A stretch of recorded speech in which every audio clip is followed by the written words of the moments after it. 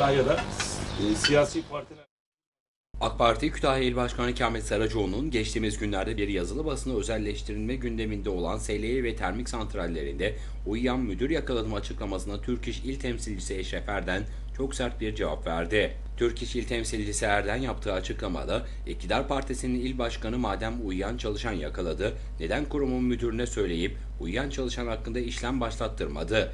Eğer adı geçen kurumda çalışan uyuyorsa o uyuyan insanın mutlaka bir siyasi gücü vardır. İktidarın il başkanı bunu sorgulamalıdır dedi.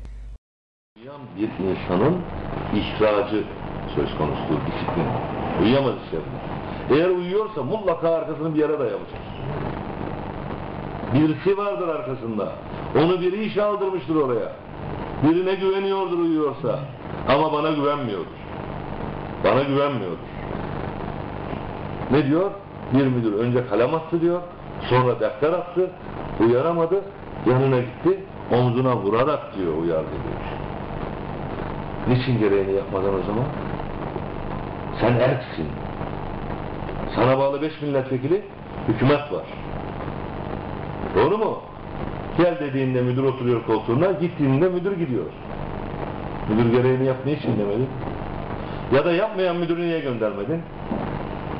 Uyuyan insanın mutlaka bir siyasi gücü vardır. İktidarın il başkanı bunu sorgulamalıdır dedi.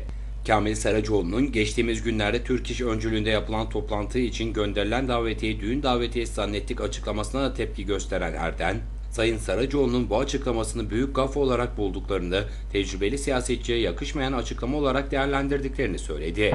Ancak Kütahya'da arkadaşlar 700 bine yakın insan yaşıyor. %70, %65 gibi oy alan bir partinin il başkanı basına çıkıp ben bunu düğün daveti zannettim demesi bana göre çok büyük şanssızlık ve gaflettir. Velev ki düğün daveti yazıyorsun. Velev ki köyden bir tane bana düğün davetisi gelse burada bir görevli var. Burada bunun işi o. Sayın Başkanım, A köyünden düğün davetisi var. Düğünün saati ve günü şu der bana. Velev ki düğün daveti yazıyorsun. Demek ki olaya böyle bakılıyor.